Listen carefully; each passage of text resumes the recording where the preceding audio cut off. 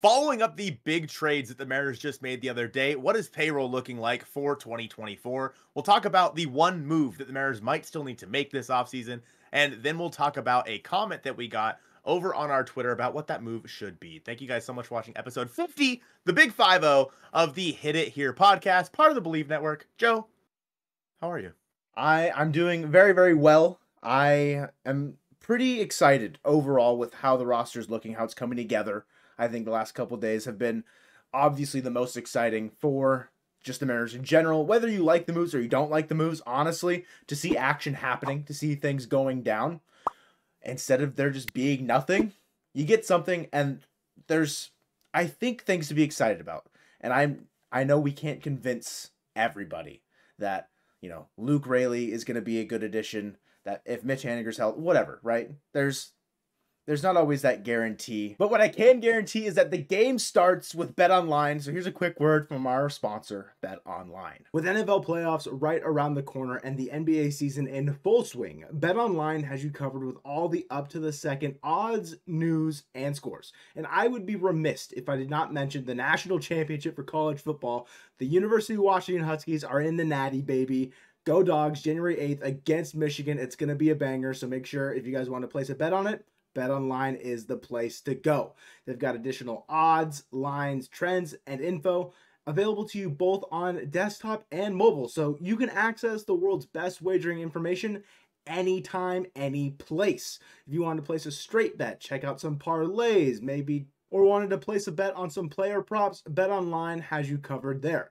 Head there today to get into the action and see all the updated odds. And remember to use promo code BLEAV, that's B L E A V, to receive your 50% off welcome bonus on your first deposit.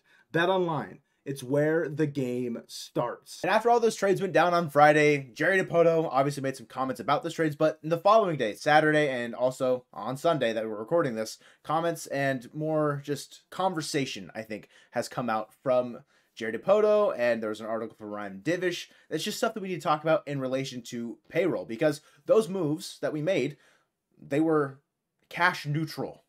Not a dime was spent in acquiring Mitch Haniger, Anthony DeSclafani, and Luke Raley. But that doesn't necessarily guarantee that the Mariners are going to spend any more this offseason, or does it? And that's, I think, the big question that we're really answering or trying to figure out right now is whether or not they're going to spend because it seemed like we were getting some conflicting messages from Dipoto over the weekend, Colton. So let's go over the timeline of events here. So at the end of 2023, Jerry Dipoto said that payroll will be higher in 2024. Okay, cool. So that means 2023 it was around 140-ish million. Maybe we're thinking, you know, 145, 150. Obviously going into it, we're like, oh, 175, 180, let's go. But yeah. we asked at the start of the offseason, we said, what do you mean by that? What do you mean by that? You mean 141. You know? Mm-hmm. And then the rumors came out that the Mariners were now working with a payroll budget because John Stanton said, Ooh, Root Sports, uh, yeah, I'm gonna buy you up. And so we're not gonna have as much money as we thought. We're like, okay, so maybe like that 145 is kind of what we're working with, right? 150 probably the cap. Well, then we had all these trades go down where the money stayed neutral, and Ryan Divish came out and said that the money is actually the payroll is likely actually to be lower than it was in 2023. He said probably around 135 million was probably going to be the cap. Right now they're at what 121. Uh, right 127? Yeah. yeah. I, well, so it was 121, I think, according to the Goose, Darren Gosler. but the article from Divish, Fangraphs projects the Mariners' estimated payroll at 132 million, even if the budget was roughly 145 or slightly over. Dipoto won't go right up to that limit. So if that's the case, that would mean that the Mariners would probably be at most have like eight million dollars spent at the very most the rest of this offseason.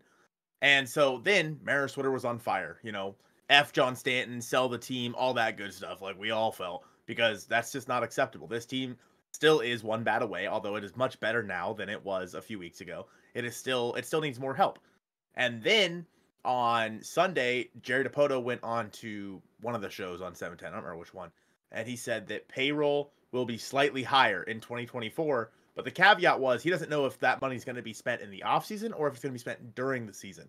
Does that mean the trade deadline? Like, I'm not sure. Mm-hmm. So if payroll is that a cop out?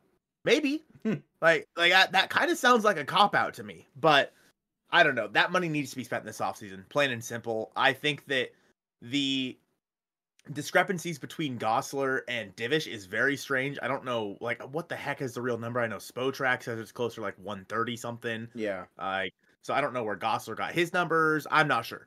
But the fact of the matter is, if it's 121, like Gosler's saying, the Mariners probably have 15 million to spend. If it's 132, they have at most 8 million to spend. So I don't know. Like, when you're looking at the rest of this offseason, how do you go about getting bats that, that that you so desperately need. Because right now, I would still like to see an everyday outfielder, a guy that you can just put out there every day of the week. I'd also like to see a guy either at second or third base. Like those are the only hill, holes I feel like you need to fill still. So I'm not sure what like what what what do you think about the payroll? Do you think this is all smoke and mirrors and we're gonna sit right right here, we're standing pat the rest of the offseason, or where are we at? I that's the thing that's been hard is it feels like every single time there's a moment of transparency from Jerry Dipoto, it does not provide any clarity that a moment of transparency usually would provide. It seems like there's more confusion than there was prior to him making any comments because obviously that's just him kind of like adjusting with the moves that they're making and like adjusting his I think the, the points he's making about payroll and how they're spending and how their the rest of their offseason outlook might go is of course they've made moves now he has to kind of adjust where he's speaking about in their process. And so if it's, you know, it's going to be slightly higher or like they've, but like Dipoto's also said, like, oh, we feel very good about where the team is right now. Mm-hmm. And, you know, if there's a move that happens that comes to us, then great. But this is the first time the whole offseason that we felt if there was a game tomorrow, we'd be okay going out and playing it. And it's just, there's, I don't want, it's like the angel and the devil of Jerry Dipoto Eh, depending on what side you want to look at it there. If you're John Stanton, the the devil is the spending money, but if you're a fan, the devil is obviously not spending money. And it, it, I I just don't see a way that we don't add one more, at least one more player to this mm-hmm. roster. And as it stands right now, like Sam Haggerty is probably your last guy off the bench. He is your whatever you utility man that you want to just throw in there if you don't think that you can find an upgrade in the free agent market or even trade if you really wanted to over Sam Haggerty for if it's only $8 million, you'd be a fool, I'd say. Mm-hmm. And if the trade happens where we trade a reliever for a bat, which is something that I think could happen because Dipoto said, like, oh, if it's a fun guy in the bullpen that they go out and sign, maybe the money that they have left to spend this offseason goes to the bullpen and they trade from that pen to get a bat because there's a lot of moving parts, and I think the trades that they executed this past week really shows that there's a lot of moving parts involved. It wasn't a whole lot of names like getting exchanged either way, but I don't think there were names we really expected to be going in certain directions. And you're saying you want like an everyday outfielder.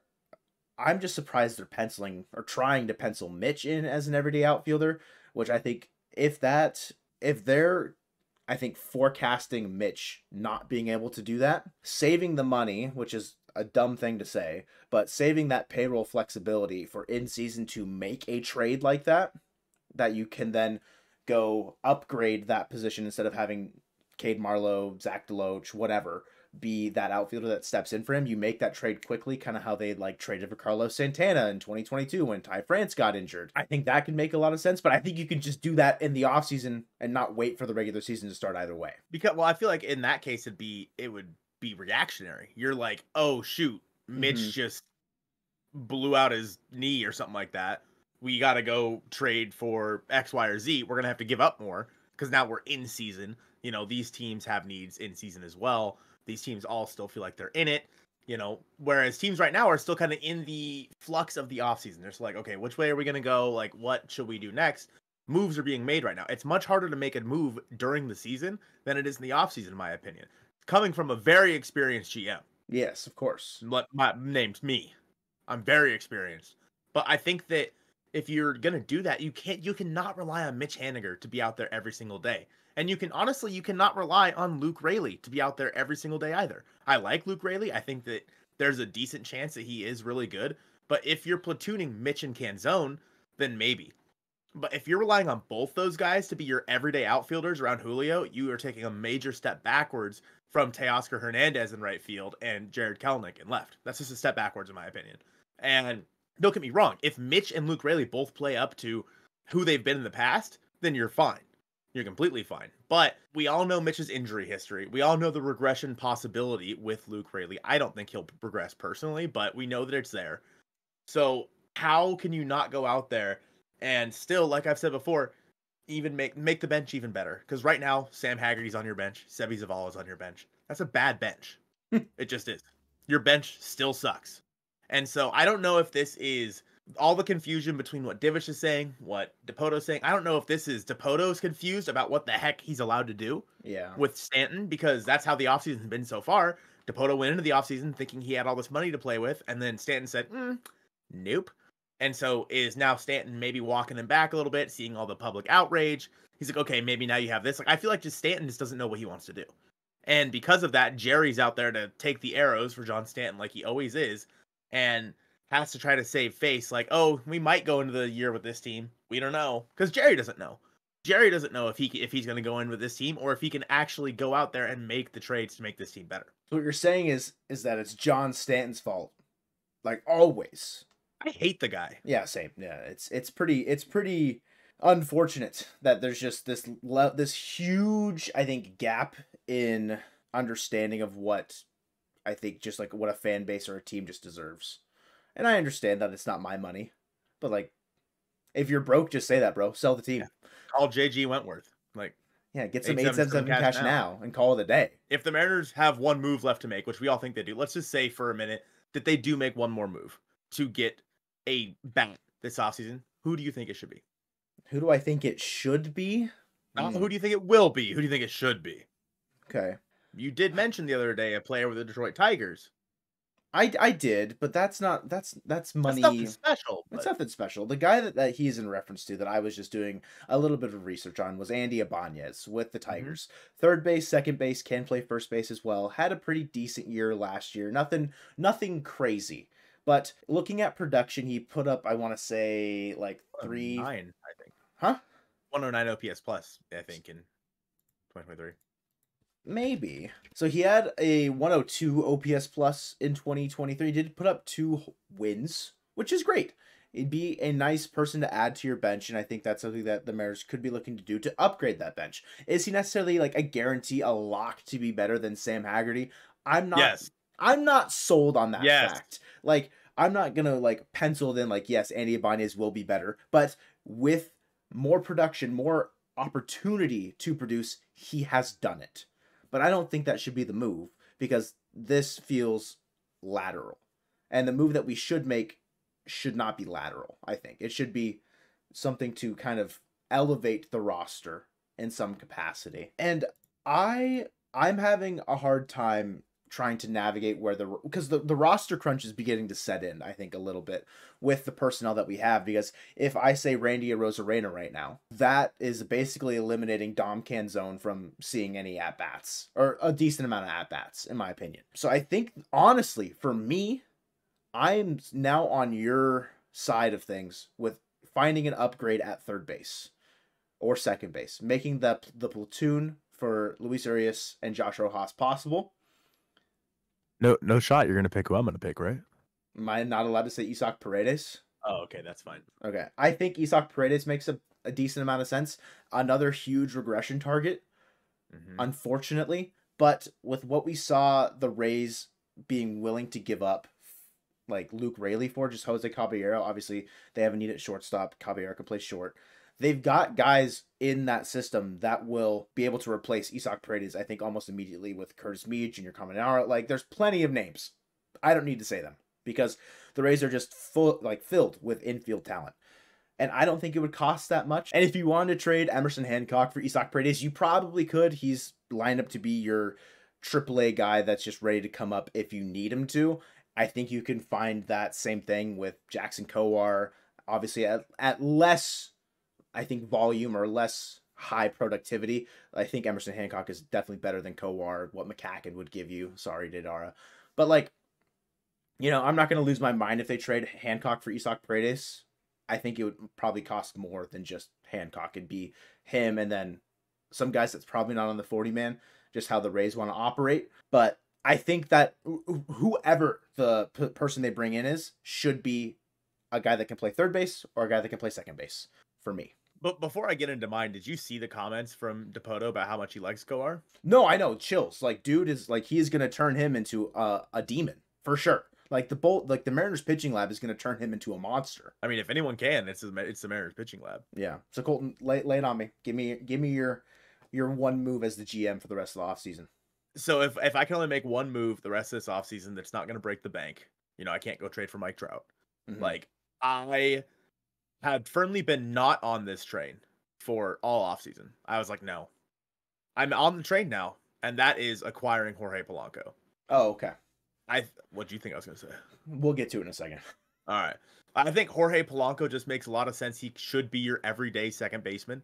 I think that moving the platoon of Rojas and Urias to third base, and because right now you have Rojas starting every day, right? Yeah. Like, and because now that Cabby's gone, and so it was going to probably be a platoon of those two, but now it's like Urias and Rojas should be the platoon, which is kind of what we all thought it should be anyway. Polanco's a guy who long, long career um, filled with success. He's been good. He has uh, like I think he put up. Don't quote me. That's like a one fifteen I'm pulling. OPS plus guy. All right, you're pulling it up. Yeah. And the Twins want to shed payroll. And if the Mariners, I think he's getting paid like what, eight or nine million next Ten. year?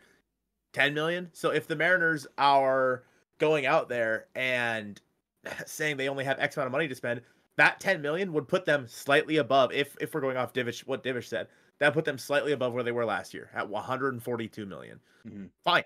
Like cool. If that's what if that's what you feel you need to do, if that's the, the cap that you are putting on yourself, then sure. And I think that your team is much better because of it. He's a guy that could- could hit seventh or eighth in your lineup and be damn good in it. That'd be a great seven or eight hole. I might even bat him nine, just like a second leadoff hitter with who or JP and Julio up there. Yeah. I think I don't think it would cost a lot, especially for taking on the whole contract. I don't think it would cost. I don't. I don't like you. Can you'd have to do it without trading Ty France because you don't. Uh, Raley is not the answer over there right now. To be your everyday first baseman. Right. And so you'd have to do it without trading Ty France, but I think you can get it done with some depth pieces. I don't think it's going to cost you an Emerson Hancock or you definitely don't need to throw in Bryan Woo or Bryce Miller. So I don't know what the what the return would be for Jorge Polanco, but if you're taking on that whole contract, it should not be much. We're talking like maybe like a top 10 to 20 pro not top 10, top uh, in the 10 to 20 range, I Yeah. think, prospect wise, and then maybe like maybe Jackson Kowar. I don't know.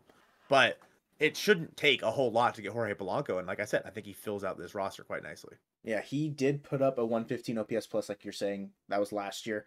Last three years rolling was 125 in 2021 in 152 games, and then 115 in 104 games in 2022. And he only played in 80 games last year. So not full seasons the last two years.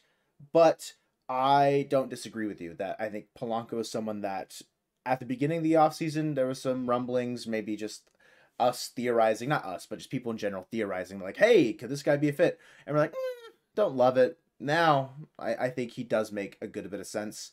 Strikeout percentage at 25.7 last year, but that's his career high. Previously, he was more around like the 18% range. So, doesn't strike out a ton if he it goes back to his more so career norm. I agree that it won't take a ton as well. If you have to give up Emerson Hancock in this, it should just be a one to one at that.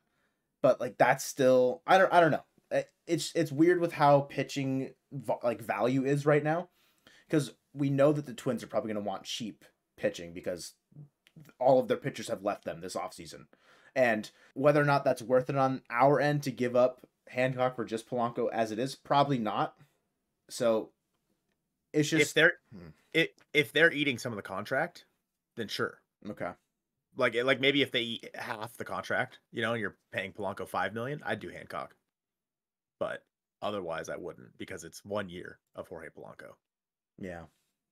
Well, Yeah. thank you to thank you to Michael Thompson on Twitter for replying to our tweet yesterday, and this this made it as a podcast segment. So congrats, congrats on that. Thank you for responding to us.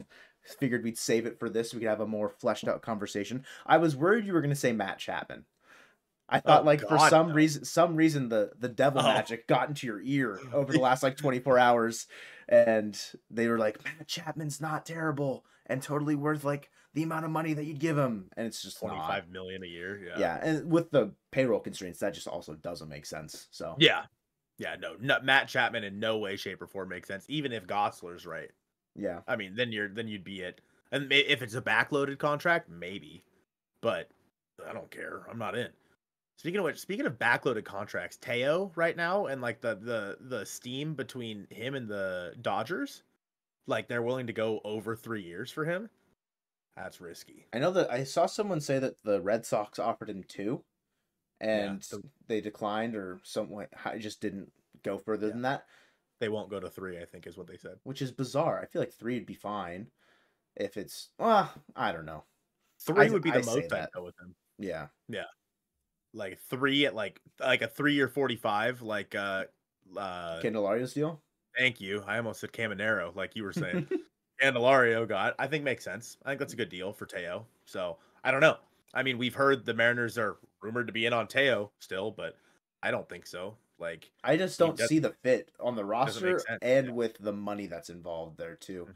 Like we've already got I don't the whole conversation last year was is Teo a lateral move to Mitch and then now we're back in the same boat like we bring back Teo and like it'll just be like a weird thing, I don't know. Yes. Hey, I'm here to break some news. Uh, outfielder Teoscar Hernandez and the Los Angeles Dodgers are in agreement on a one-year, twenty-three and a half million dollar deal. He got paid twenty-three and a half million. He got over what they what what the um qualifying offer was. he got 3 more million dollars in the qualifying offer for 1 year. oh wow. Is it like a Giolito thing where there's an option or is it just a strict 1 year deal? As of right now, it looks like it's just a strict one year deal, but I mean, I'm sure more stuff will come out about it. Thank God the Mariners didn't do that. Um, eight and a half million of it will be deferred Those be paid. bastards. to be paid from 2030 to 2039. So basically a Like- million a year from 2030 to 2039. So We're just allowing money laundering schemes in the MLB now, is what we're saying. So, I mean, yeah, he's- Alex he's- Anthopoulos has been doing it in Atlanta for like six or seven years. Everyone's just starting to catch on now, I guess. what the heck, man? So they're paying about 15 million dollars a year, which is what I just said. 50 million dollars this year. Yeah. Wow. But only a one year deal, which is very, very interesting. That dude, that lineup. Oh, Oh, my no. god. If it, it's it's getting worse for the Dodgers if they don't win the World Series. That's true. know? That is true. I mean, teams like the Padres and the Rocky, the Rockies just need to tear it all down. No, why they, why would they even try? Yeah, no, tear it all down. Like if you're the Rockies, I mean, you're the Diamondbacks. You just won the World Series, and you're watching the Dodgers do this. You're like, shoot, hey Eduardo Rodriguez, um, you've actually failed your physical. Sorry. I, Um, I they still I mean they'll they'll they'll have a chance at the wild card and Yeah. that's all it took for them last year to make it to the World Series so Mhm. you know it's just whether or not they can they can make it out of LA alive yeah, I mean that's that. Wow, where's he? He's gonna hit like sixth or seventh in their lineup. maybe even uh, what are they they're just playing MLB the show at this rate they're just playing fantasy baseball. So what? What is their lineup? What's their lineup right now? Let me go to the roster resource and plug in I- Teo Is Mookie is Mookie leading off? yeah Mookie So Mookie, Freeman, Freddie. Oh, I hate Uh, calling him Freeman. That was the vomit in my mouth. Okay, I'll- I'm on their roster resource page. It's loading. Okay, so lineup as it stands right now, according to Fangraphs roster resource: Mookie batting leadoff, Shohei batting second, Mm. Freddie batting third, Will Smith batting fourth, Max Muncy batting fifth, James Outman batting sixth. Sixth. They already have Teo updated on here. He's batting Really? seventh. That quick? Dude, it's been like what, like five minutes? They already have it updated. They don't sleep. Um, and then Jason Heyward batting eighth, Gavin Lux batting ninth. Uh, you could still probably find a who's on their bench. Austin Barnes, Miguel Rojas, Chris Taylor, Manny Margot. So whenever you want, if there's you know a, a tough lefty on the mound, Heyward sits and Chris Taylor's in. So Or or Manny Margot. I mean, yeah, he hits lefties pretty well. hmm you got options there. Wow. Dodgers are going for it, man. God, wouldn't it be cool if the Mariners would do that? Nah, it's overrated. Yeah, I'd rather I'd rather have a hundred and forty million dollar payroll and a nice bar and a press club, baby. What was the point of hosting the All Star game? What was the point? just to do it, just to, just to say that we did it. Yeah, that's fun. That's cool. Where'd all the money go, Jonathan? Huh? you first name like full first naming him. Johnny? Johnny boy? Put Johnny on the spot. Tell us where the money is, pal. I don't know. The Mariners still have one big move to make, and I guess Teoscar Hernandez is now off the board. But hey, we appreciate you guys watching episode 50, big one of the Hit It Here podcast presented by Bet Online and Go Mariners.